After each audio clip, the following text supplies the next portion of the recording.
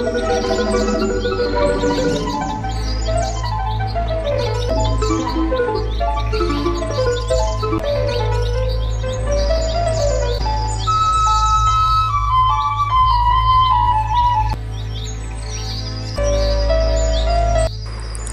আলাইকুম, প্রিয় দর্শক শ্রোতা, সকলকে স্বাগত জানাচ্ছি YouTube channel united science of আসাদের নতুন একটি ভিডিওতে। আমাদের আজকের এই ভিডিওতে আমরা যেটা দেখানোর চেষ্টা করছি, সেটি হচ্ছে বাংলাদেশের জাতীয় জাদুঘর। খুবই তথ্যবহুল এবং উপভোগ্য একটি ভিডিও হতে যাচ্ছে, আশা করছি আপনারা সম্পূর্ণটাই দেখবেন। জাদুঘরের আদ্যপন্ত দেখানোর সাথে সাথে কিছু প্রয়োজনীয় তথ্য আপনাদেরকে জানাতে চাই। বাংলাদেশের যে জাতীয় জাদুঘর, সেটি ঢাকার শাহবাগে অবস্থিত এবং এটি উনিশশো তেরো খ্রিস্টাব্দে প্রতিষ্ঠিত হয়। তবে এটিকে জাতীয় জাদুঘরের মর্যাদা দেওয়া হয় উনিশশো তিরাশি সালে। বাংলাদেশি নাগরিকদের জন্য টিকিটের মূল্য চল্লিশ টাকা, শিশু যদি হয় তিন থেকে বারো বছর, তাহলে অবশ্য বিশ টাকা। সার্কভুক্ত দেশের নাগরিকদের জন্য টিকিটের দাম নির্ধারণ করা হয়েছে তিনশো টাকা, আর অন্যান্য দেশের যারা নাগরিক, তাদের জন্য টিকিটের দাম পাঁচশো টাকা। লাগেজ কাউন্টারে ব্যাগপত্র রেখে যাওয়ার ব্যবস্থা আছে। যে টোকেন দেওয়া হয়েছে মুদ্রার মতো। প্রচুর মানুষ বেড়াতে আসেন জাতীয় জাদুঘরে। তবে ছুটির দিনগুলোতে একটু উপস্থিতি বেশি থাকে। আমি আর নুসরাত যেমন গিয়েছিলাম একুশে ফেব্রুয়ারি দু হাজার তেইশ তারিখে। জাদুঘর অনেকগুলো ফ্লোরের সমন্বয়। প্রত্যেকটা ফ্লোরে আলাদা আলাদা জিনিস এখানে প্রদর্শন করা হয়েছে, ভিন্ন ভিন্ন মেজাজের। জ্ঞানকে পরিপূর্ণ করার এক দারুণ আয়োজন।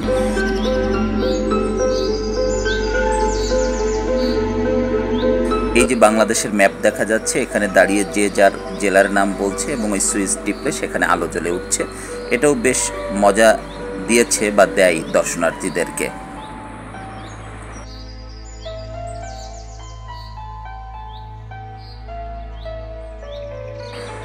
রয়্যাল বেঙ্গল টাইগার সুন্দরবনে থাকে, তার একটা আবহ এখানে তৈরি করা হয়েছে। খুব ধারাবাহিকভাবেই বাংলাদেশের সামগ্রিক পরিচয়টা এখানে তুলে ধরার চেষ্টা করা হয়েছে। সেটা ভৌগোলিকভাবে, প্রাকৃতিকভাবে, ইতিহাস, ঐতিহ্য সব দিক দিয়েই এখানে একটা ধারণা পাওয়া যাবে। জাদুঘর মূলত একটি জাতির, বিশেষ করে জাতীয় জাদুঘর একটি জাতির আত্মপরিচয়ের জন্য খুব সহায়ক ভূমিকা পালন করে থাকে। বাংলাদেশের জাতীয় জাদুঘরও নিঃসন্দেহে সেই চেষ্টাই করে চলেছে।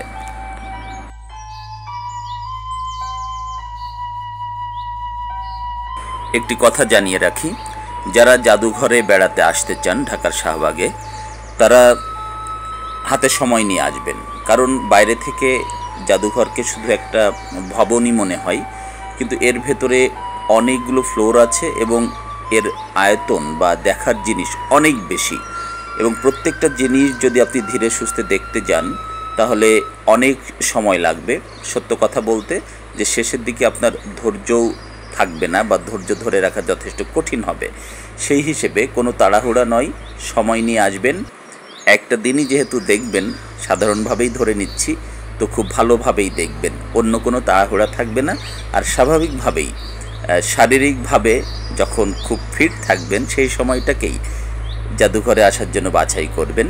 তা না হলে আপনি উপভোগ করতে পারবেন না, কারণ সব কিছু দেখার জন্য যে মানসিক চাপ এবং শারীরিক চাপ আপনাকে নিতে হবে, সেটার জন্য আপনাকে প্রস্তুত থাকতেই হবে। তবে বিষয়টি নিঃসন্দেহে উপভোগের আনন্দের। অর্থাৎ আপনার কষ্ট হলেও আপনি যে আনন্দ পাবেন, আপনার যে জ্ঞান বৃদ্ধি হবে, এতে সব কিছুই ম্লান হয়ে যাবে আপনার কষ্টগুলো।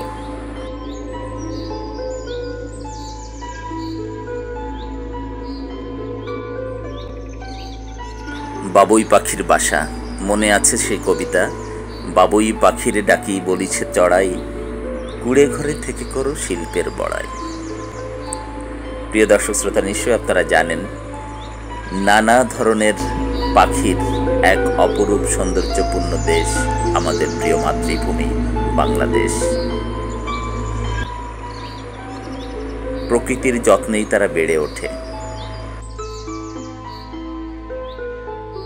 বনরুই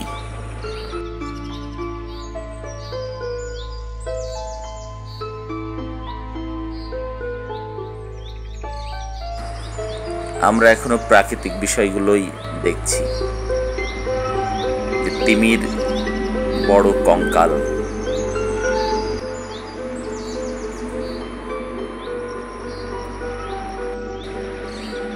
হাতি।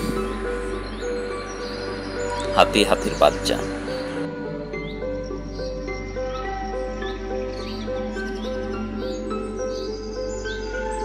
আবহমান বাংলা কৃষক মাঠে হাল চাষ করছেন কৃষক বউ, পাশে বসে আছেন অদূরে। খড়ম,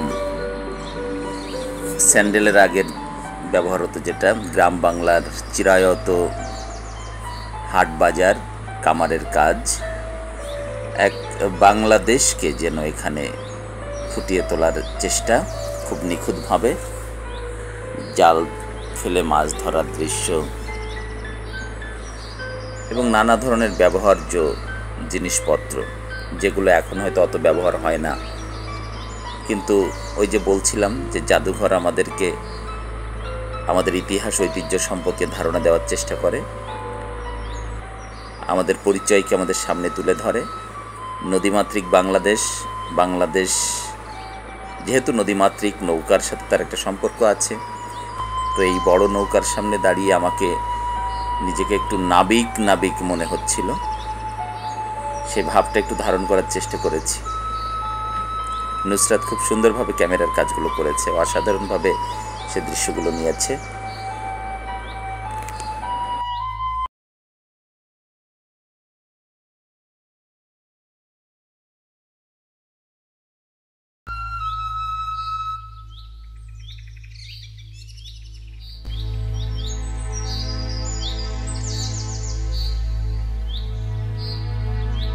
পবিত্র কাবা শরীফের গিলাফের অংশবিশেষ।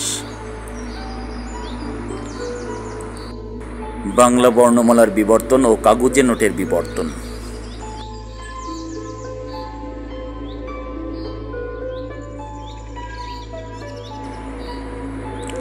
আর একটি ফ্লোরে।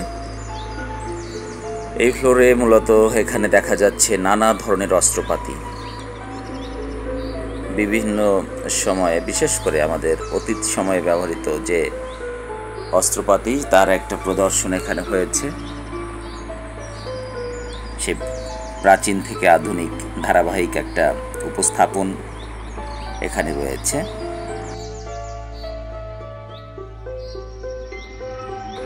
জাদুঘরের সাধারণ সময়সূচি শনিবার থেকে বুধবার সকাল সাড়ে দশটা থেকে বিকাল সাড়ে চারটা পর্যন্ত শুক্রবার বিকাল তিনটা থেকে সন্ধ্যা সাতটা পর্যন্ত, বৃহস্পতিবার সাপ্তাহিক ছুটি আর রমজান মাসে এই সময়সূচির একটু পরিবর্তন হয়। নানা ধরনের বাদ্যযন্ত্র।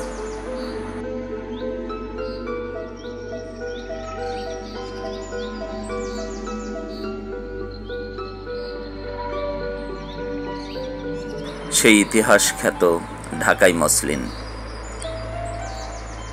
নানা ধরনের নকশি কাঁথা হাতের কাজ, ইতিহাস, ঐতিহ্য, ধারাবাহিকতা।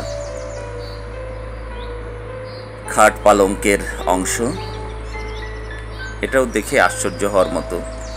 এত উঁচু খাট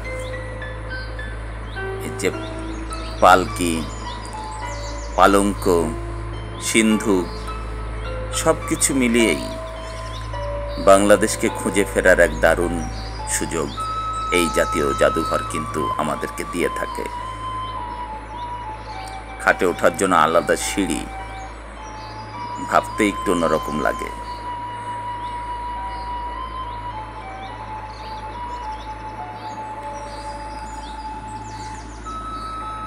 নানা ধরনের পাণ্ডুলিপি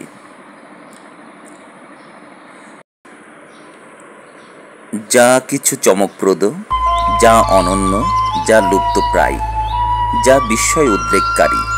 প্রধানত এমন সব জিনিসের সংগ্রহ থাকে জাদুঘরে। পবিত্র কোরআন শরীফ, হাতে লেখা।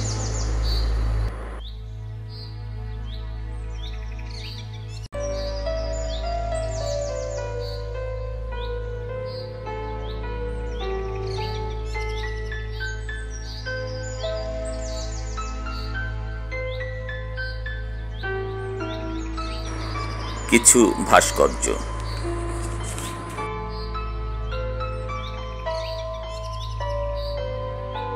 নীল জাল দেবার কড়াই আমাদেরকে মনে করিয়ে দেয় নীল বিদ্রোহের কথা। রবীন্দ্রনাথ ঠাকুর, কাজী নজরুল ইসলাম।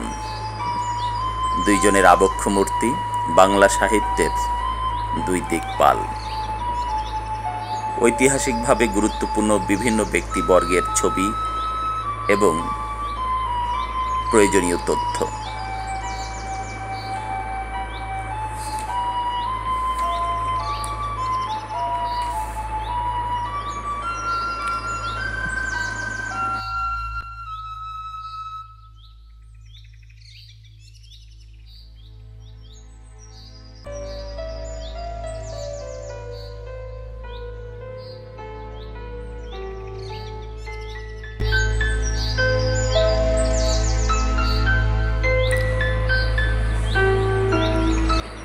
আমাদের বাংলাদেশের জন্ম যে ঘটনাগুলো থেকে, সেই ঘটনাগুলোর যে ইতিহাস, তার কিছু নমুনা।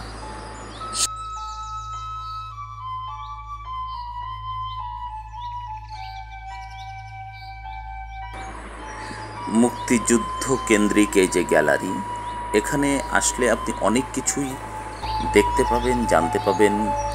এবং মুক্তিযুদ্ধকে নতুনভাবে উপলব্ধি করার একটা সুযোগ পাবেন। একটা অন্যরকম অনুভূতি আপনাকে দিবে। মুক্তিযোদ্ধাদের ব্যবহৃত বিভিন্ন অস্ত্র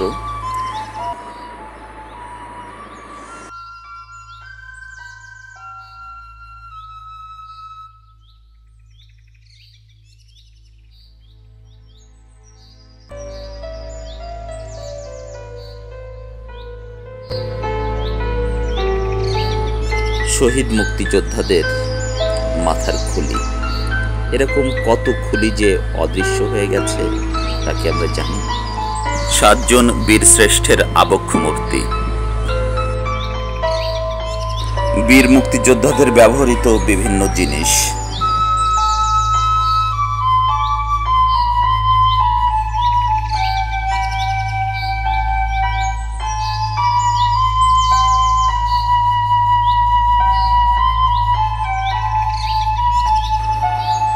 বঙ্গবন্ধুর ব্যবহৃত সাইকেল।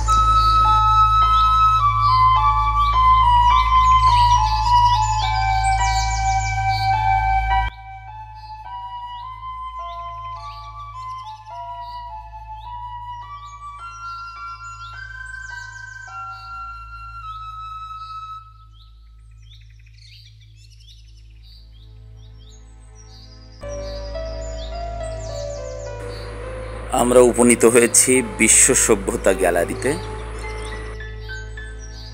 অর্থাৎ এখানে একটা আন্তর্জাতিক সংগ্রহশালা বলা যায় এই অংশটা। এটাও নিঃসন্দেহে আমাদের জ্ঞানকে বৃদ্ধি করতে সহায়ক ভূমিকা পালন করে।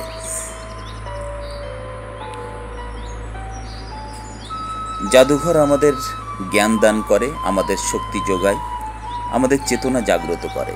আমাদের মনোজগৎকে সমৃদ্ধ করে। জাদুঘর একটা শক্তিশালী সামাজিক সংগঠন। সমাজের এক স্তরে সঞ্চিত জ্ঞান তা ছড়িয়ে দেয় জনসমাজের সাধারণ স্তরে।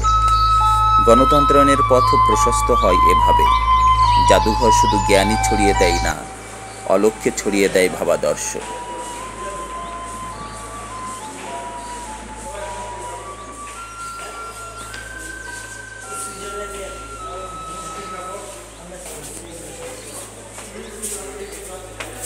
আমার খুব প্রিয় প্রসঙ্গ, মুঘল শাসনামলের কিছু নিদর্শন এখানে আছে, তথ্যভিত্তিক ছবি ভিত্তিক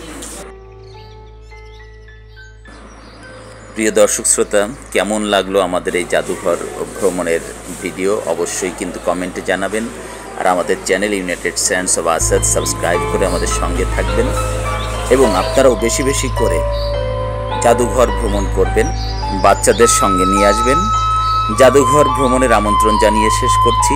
সকলেই ভালো থাকবেন। মহান আল্লাহ আমাদের সকলকে ভালো রাখুন। আল্লাহ হাফেজ।